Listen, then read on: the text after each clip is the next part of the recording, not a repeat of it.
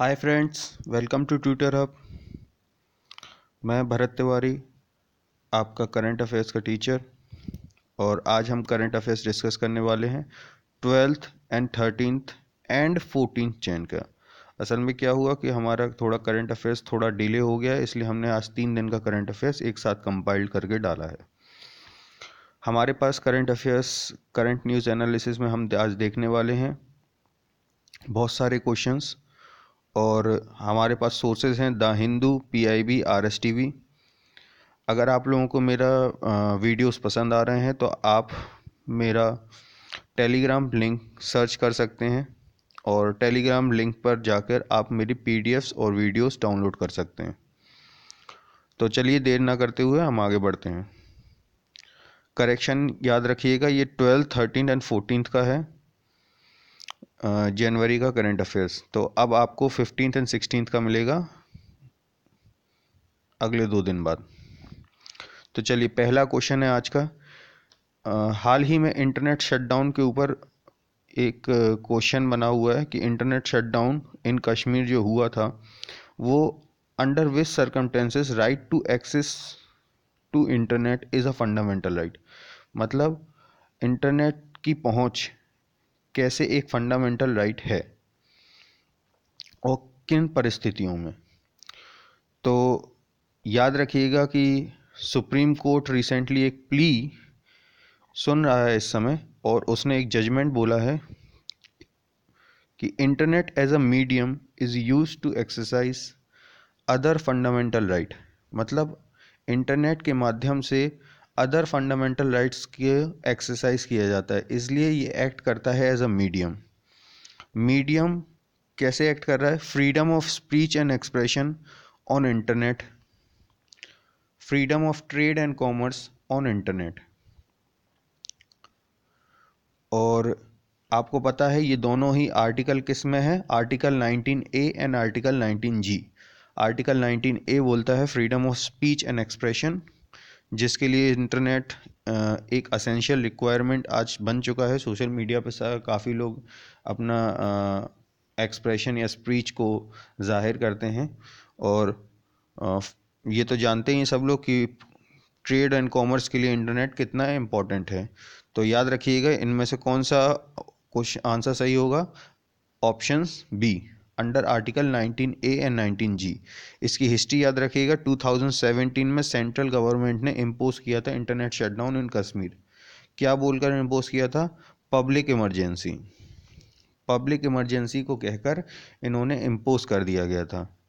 तो central government जो है, जितने भी ये पावर इंटरनेट शटडाउन की जो पावर है, ये कहाँ से ड्राइव करती है? ये तीन एक्ट हैं जिनसे ये पावर ड्राइव करती है। Information act 2000 telegraph act 1885 and section 144 of CrPC याद रखिएगा, इन तीनों एक्ट्स जो हैं, वो इंटरनेट शटडाउन से रिलेटेड हैं। तो अगर पेपर में कोई क्वेश्चन आता है तो आप तीनों एक्ट माइंड में याद रखिएगा। India shares largest border with Bangladesh with exactly in kilometers India का जो सबसे लार्जेस्ट बॉर्डर है, वो बांग्लादेश के साथ शेयर करता है और एग्जैक्टली वो कितने किलोमीटर का है? Option A three three two three kilometers option B four zero nine six kilometer option C four zero nine six point seven kilometers option D one five double zero one five four double zero kilometers तो ये exactly border share करता है four zero nine six point seven kilometers. ये recently क्यों news में है? क्योंकि recently government of India ने एक आयरलैंड की एक कंपनी है जिनको एक एक पायलट प्रोजेक्ट दिया है कि वो बताएँ कि कितनी कॉस्ट पड़ेगी हमें कि हम न्यू फेंसिंग वायर जो बांग्लादेश बॉर्डर पे लगाना चाह रहे हैं, उसको इलीगल इमिग्रेंट्स को रोकने के लिए। तो ये एक इशू बनने वाला है आगे चल के। और देखते हैं अब ये इशू कैसे एनआरसी के बाद ये इशू कैसे शांत होने वाला है। तो चलिए नेक्स्ट क्वेश्चन पे जाते हैं। Where the headquarters of Ram Krishna mission founded by Swami Vivekananda Ramakrishna mission जो है, वो स्वामी विवेकानंद ने फाउंड किया था और इसके हेडक्वार्टर्स कहाँ हैं? A Kochi B Vizag C Belur Math D Hampi तो इसके हेडक्वार्टर्स हैं बेलूर मैथ में। याद रखिएगा, बेलूर मैथ एक जगह का नाम है, ये वो वाला मैथ नहीं है। ये मैथ एक जगह का नाम है। अच्छा स्वामी विवेकानंद ने रामकृष्ण मिशन का जो हेडक्वार्टर है, वो फ़र्स्ट में 1897 को बेलूर मैथ में इस्टेब्लिश किया था। रामकृष्ण मूवमेंट और वेदांत मूवमेंट ये दो स्पिरिचुअल मूवमेंट हैं जो कि इस मिशन के अंडर रन किए गए थे। और स्वामी विवेक स्वामी रामकृष्ण परमहंस, जिनके नाम पे ये पूरा मिशन रखा गया, वो गुरु हैं स्वामी विवेकानंद जी के। तो ये भी याद याद रखिएगा। नेक्स्ट क्वेश्चन हमारा। The birth anniversary of Swami Vivekananda the great youth icon is celebrated on तो eleventh January twelfth January thirteen January fourteen January. तो ये सेलिब्रेटेड की जाती है ट्वेल्थ जनवरी का। और याद रखिए मैं कुछ पॉइंट्स बताने वाला हूँ स्वामी विवेकानंद जी के बारे में। स्वामी विवेकानंद जी की शिकागो कॉन्फ्रेंस बहुत ज़्यादा फ़ेमस है। तो इसकी डेट आप याद रख लिए याद रख लीजिएगा कि इसकी डेट क्या है। आ, दूसरा स्वामी विवेकानंद जी का नाम पूछा जाता है। तो स्वामी विवेकानंद जी जी का नाम है नरेंद्र नाथ दत्ता। तो नरेंद्र नाथ दत्ता इनका ओरिजिनल नाम था। बाद में इनको स्वामी विवेकानंद जी का नाम दिया गया था। चलिए नेक्स्ट क्वेश्चन की तरफ़। Which marine fish is declared extant internationally कौन सी मरीन फ़िश रिसेंटली एक्सटेंट हो चुकी है? और इसको इंटरनेशनल जर्नल ऑफ़ साइंस एक पब्लिकेशन है जिसने डिक्लेयर कर दिया है कि ये अब एक्सटेंट हो चुकी है। तो option A, Gangetic dolphin, option B, Chinese paddle fish option C, blue whales option D, none. तो याद रखिएगा, ये इसका नाम है Chinese paddle ship paddle fish तो चाइनीज़ पैडल फ़िश जो है वो अब एक्सटेंट हो चुकी है। और इसकी इमेज जो है वो कुछ इस तरीके से दिखती है, याद रखिएगा। इसका साइंटिफिकली नेम है पैसीपुरुस ग्लैडियस तो ये इसका साइंटिफिक नेम है। इस नेम से क्वेश्चन आ सकता है। ये नाम पूछ लिया जा सकता है पेपर में। अच्छा चाइनीज़ से पहले से ही लिस्टेड थी आई की रेड लिस्ट में। ये एक फ्रेश वाटर फ़िश है। और यंगजी रिवर जो है चाइना की, वो इसका घर हुआ करता था कभी। और ये देख पा रहे हैं आप किस तरीके की ये फ़िश दिखती थी। ये करीबन छः से सात मीटर लंबी तक ये फ़िश हुआ करती थी। Twenty third national youth festival N Y F twenty twenty, twelfth January to sixteen January is held at कहाँ हेल्ड हुए हैं? तो ये हेल्ड हुए हैं लखनऊ में। ये लखनऊ में हेल्ड हुए हैं। फ़र्स्ट नेशनल यूथ फेस्टिवल जो है वो 1995 में ऑर्गेनाइज किया गया था। इस बार की थीम थी हमारी फिट यूथ फिट इंडिया। याद रखिएगा थीम पूछी जाती है fit youth fit India Indian cyber crime coordination centre I four C का हेडक्वार्टर कहाँ पर है? न्यू दिल्ली बेंगलुरु पुणे चंडीगढ़ तो इसका हेडक्वार्टर है न्यू दिल्ली में और ये अभी रिसेंटली डेवलप की गई है हमारी यूनियन होम मिनिस्टर द्वारा। न्यू दिल्ली में, और इसका काम क्या होगा, जितने भी साइबर क्राइम से रिलेटेड जितने भी जो टास्क फोर्सेस हैं, उनमें कोऑर्डिनेशन बनाना और इसके लिए नई रिसर्च और नए तरीके के इनोवेशन को भी प्रिवेंट करना। चलिए, next question. Which year declared as international year of indigenous language by un कौन से साल को indigenous language of international year declare किया गया यूएन के द्वारा।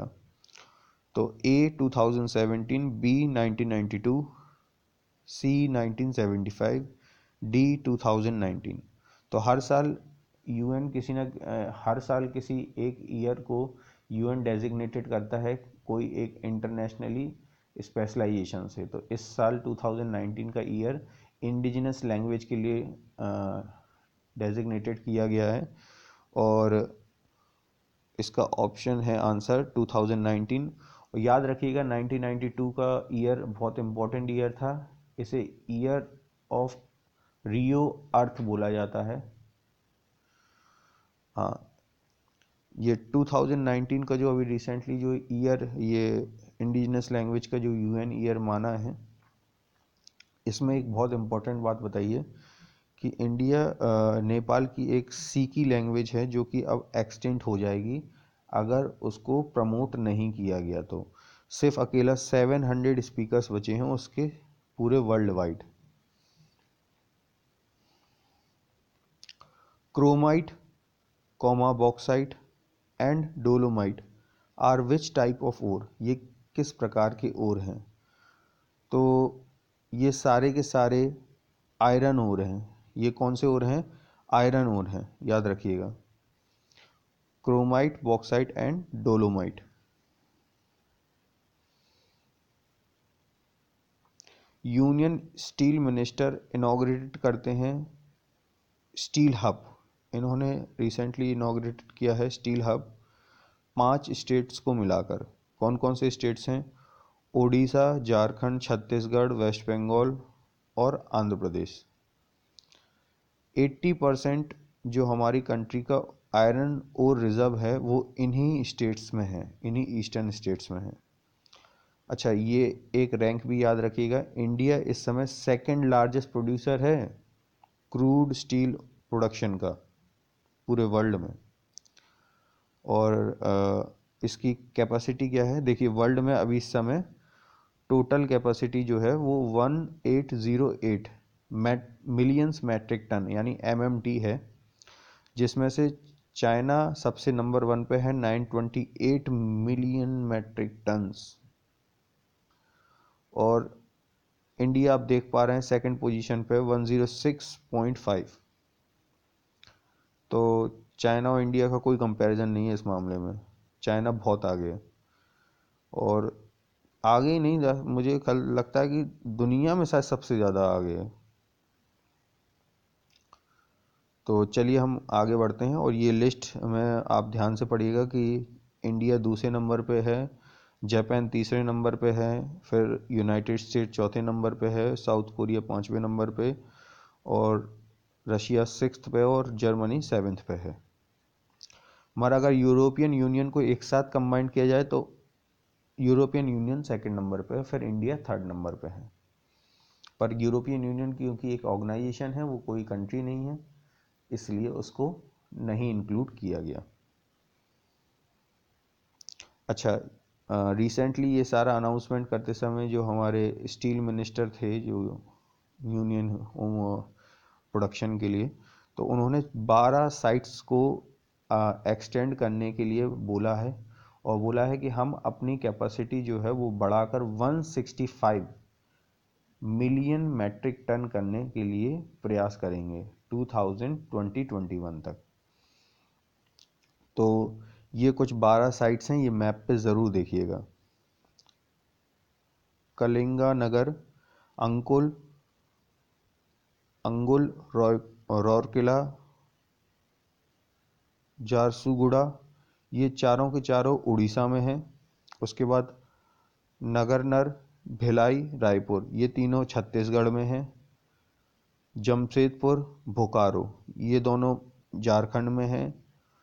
दुर्गापुर, कोलकाता। ये दोनों वेस्ट बंगाल में हैं और वाइजैग अकेला आंध्र प्रदेश में है। तो ये कुछ मैप पे आप मार्क कर लीजिएगा एक बार। तो आपको या फिर मैप पे एक बार एटलस खोल कर देख लीजिएगा तो ताकि आपको पूरी तरीके से क्लियर हो जाएगा। Which state legislative assembly adopted a new logo on nine January 9 जनवरी को कौन सी स्टेट लेजिस्लेटिव असेंबली ने अपना एक नया लोगो अडॉप्ट किया है? उत्तर प्रदेश, तमिलनाडु, मध्य प्रदेश, अरुणाचल प्रदेश। तो इसका सही आंसर है अरुणाचल प्रदेश, ऑप्शन डी। और इसका लोगो कुछ इस तरीके से दिखता है, ध्यान से देख लीजिए। ये वो नया लोगो है जिसको अडॉप्ट किया है। अरुणाचल प्रदेश की राजधानी क्या है? ईटानगर तो ये याद रखिएगा। चलिए नेक्स्ट क्वेश्चन की तरफ़ आते हैं। हाल ही में यूपी स्टेट गवर्नमेंट ने कौन सी सिटी में शहीद अशफाक उल्ला खान जूलॉजिकल गार्डन बनाने का निर्णय लिया है? तो in which city UP state government is going to set up शहीद Ashfaq Ullah Khan zoological garden A Kanpur B Etawah C Gorakhpur, D Noida. तो इसको बनाने जा रही है यूपी गवर्नमेंट गोरखपुर में। याद रखिएगा, इसको कहाँ बनाने जा रही है? गोरखपुर में।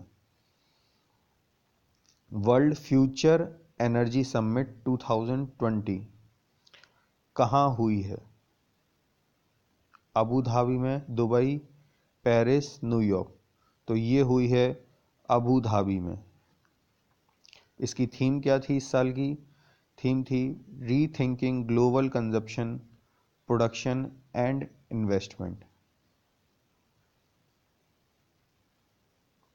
अच्छा अब हम आ जाते हैं कुछ डिटेल टॉपिक पे। हाल ही में state energy efficiency index 2019 launch हुआ है। इस इंडेक्स को हर सालाना कौन देता है? Bureau of energy efficiency B double E जो कि गवर्नमेंट ऑफ़ इंडिया के अंडर काम करती है, इन कोलेबोरेशन विथ किसके साथ मिलकर देती है? Alliance for energy efficient economy इसमें चार कैटेगरीज हैं फ्रंट रनर अचीवर कंटेंडर और एस्परेंट जिसमें से फ्रंट रनर आज तक अभी तक कोई भी अचीव नहीं कर पाया, क्योंकि उसके लिए काफ़ी सारे इंडिकेटर्स हैं जो अभी तक बहुत से स्टेट नहीं ले पाए। इसमें टोटल मिला के thirty six states and union territories जो हैं, उनके ऊपर एनर्जी इंडेक्स तैयार किया जाता है। इस साल हरियाणा, केरला और कर्नाटका टॉप परफॉर्मिंग स्टेट्स रहे अचीवर्स कैटेगरी में। बल्कि जहाँ तक Manipur, Jammu and Kashmir, Jharkhand and Rajasthan are at worst in this index. ये वर्स्ट सबसे बॉटम पर प्लेयर रहे हैं इस इंडेक्स में। और अगर यूटीज़ में पूछा जाए यूनियन टेरिटरीज में किसने टॉप किया है तो पुडुचेरी ने टॉप किया है। अभी रिसेंटली एक और न्यूज़ आई है H nine N two virus क्या है? तो H nine N two virus recently national institute of virology Pune ने डिस्कवर किया एक सेवनटीन मंथ ओल्ड बॉय में। ये ईयर नहीं है, यहाँ पे मंथ है। तो ये सेवनटीन मंथ ओल्ड बॉय में recently national institute of virology Pune ने इसको ढूंढा है। और ये बॉय जो है वो मेल मेलघट डिस्ट्रिक्ट का महाराष्ट्र में है, महाराष्ट्र का है। अच्छा इस वायरस के बारे में थोड़ा सा जान लीजिए। ये वायरस क्या है? एक टाइप ए कैटेगरी का वायरस है, जो एवियन इन्फ्लुएंजा वायरस है। ये वायरस नॉर्मली ट्रांसमिट करता है ह्यूमंस में चिकन्स के द्वारा। तो जहाँ पे पोल्ट्री होती है, या फिर पोल्ट्री जो लोग पोल्ट्री में इन्वॉल्व होते हैं, उनमें मोस्टली ये वायरस देखने के लिए मिल सकता है।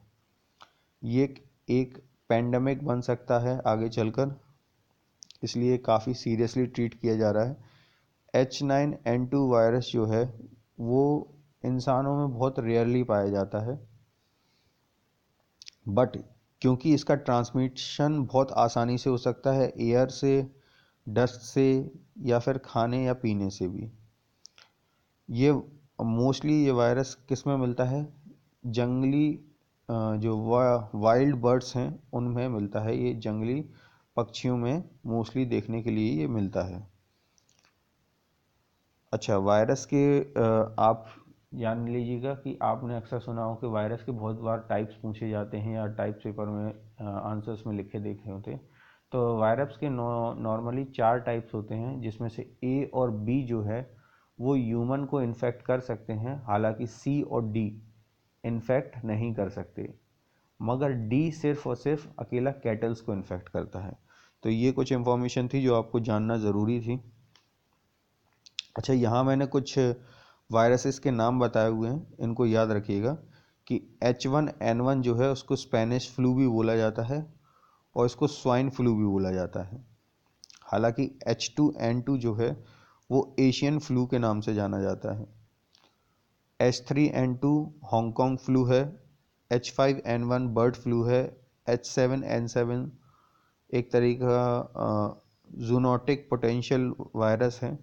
जूनोटिक पोटेंशियल वो वायरस होते हैं जो कि नॉर्मली जानवरों में पाए जाते हैं, पर वो बैक्टीरिया या अदर ऑर्गेनिज्म द्वारा ह्यूमन बॉडी को इन्फेक्ट कर सकते हैं। एच वन एन वन एक एंडेमिक वायरस है, जो ह्यूमंस और पिग दोनों में पाया जाता है एच वन एन टू और बाकी और यहाँ पे बहुत सारे नाम दिए हुए हैं। अच्छा जितने भी इन्फ्लुएंजा वायरस जो हैं, वो मोस्टली एनिमल्स से इन्फेक्ट होके ह्यूमन में आते हैं, इसलिए इनको इन्फ्लुएंजा वायरस भी कहा जाता है। ये ह्यूमन में नहीं पाए जाते, मगर ह्यूमन क्योंकि life stock life stock rearing में, यानी पशुपालन में ज़्यादा इंक्लूड रहता है, इसलिए कई बार ये वायरस आउटब्रेक होते रहते हैं।